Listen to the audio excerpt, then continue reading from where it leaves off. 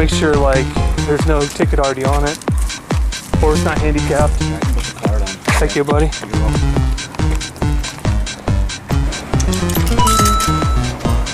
If you could tell that one or not.